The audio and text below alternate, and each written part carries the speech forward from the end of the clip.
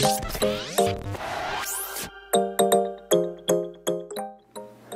good morning, everybody. This week we're talking about uh, Noah and the flood, and that's in Genesis chapter 6 and 7.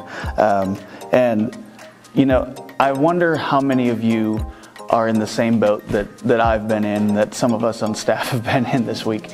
When we've been talking about the flood, um, we, we were confident that there was a scripture that pointed out certain things about the flood that we knew was in there. There was something in the Bible that said that, like, that Noah was mocked by people. They came by and scoffed at him, or that he went out and, and tried to get people to come onto the boat with him and explain that. And while that may have happened, and probably did over the period of time that it took uh, Noah and his sons to build the ark, uh, there is nothing in Scripture that actually says that.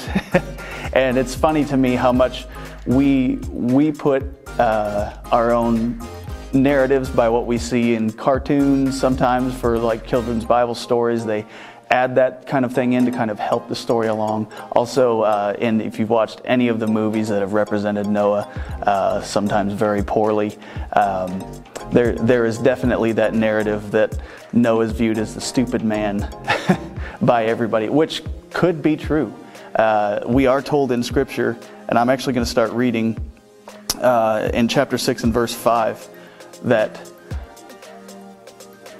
everyone was wicked, and the only thoughts in their mind were only towards wickedness. And so, I mean, we were talking here like that would be what we would do if we saw somebody building something weird in their backyard. We would be making fun of them for sure. Um, and so, but let's read here. It says, starts in uh, verse 5. When the Lord saw that human wickedness was widespread on the earth, and that every inclination of the human mind was nothing but evil all the time, the Lord regretted that he had made man on earth, and he was deeply grieved. Then the Lord said, I will wipe out mankind, whom I created, off the face of the earth, together with the animals, creatures that crawl, and the birds of the sky, for I regret that I made them. Noah, however, found favor with the Lord. And then I'm going to skip down to, chapter, uh, to verse 17. And this is God talking to Noah, saying, Understand that I am bringing a flood, flood waters on the earth to destroy every creature under heaven with the breath of life in it. Everything on earth will perish. But I will establish my covenant with you, and you will enter the ark with your sons, your wife, and your sons' wives. And at the end of this chapter, it says, And Noah did all this, and he did everything that God had commanded. So here's, here's some things that we know and see and can nail down and then apply to uh, what, what we need to be doing with our lives and how we view this uh, in today's narrative. Um, so we know that according to Scripture, every thought of man was towards wickedness, and God had regretted that he had created mankind. That's the first thing. The second thing that we see is that Noah found favor with the Lord. And we see that throughout Scripture. He's mentioned, Noah's mentioned and brought up several times throughout the Old Testament and even in the New Testament by Jesus. And in 2 Peter, we hear him referred to as a preacher of righteousness. And so, looking at it from the New Testament side of things, um, and looking back and saying, well, he's a preacher of righteousness. Of course, he was out trying to reach people for the Lord, trying to get him, get them to realize that they are being wicked and that following after God is the only true way to live. Um, now, we don't see uh, anything in Scripture that says specifically that, but for him to be called a preacher of righteousness and for him to have favor in the eyes of the Lord we know, especially with the example that God also chose to save his entire family, his wife and his sons and his sons' wives. So, first, he was influential at home uh, with he and his wife. He was influential. They were influential with their sons, and their sons were influential. All, all of them together were following after God. So, whether or not the rest of the entire humanity was listening or was going to listen Noah was focused and he had his family focused, and they found favor in the eyes of the Lord. So that we know. And then we know that Noah did everything that God commanded him. But before that, we see that God has established his covenant with Noah that he will save them. He will save Noah, he will save Noah's wife, his sons, and his sons' wives. So these are the things that we can hold to that are true and written down right here for us to see and to know. And so, looking at this, I, I can't help but draw the picture, and I think that this very intentionally draws the picture between the ark and Jesus.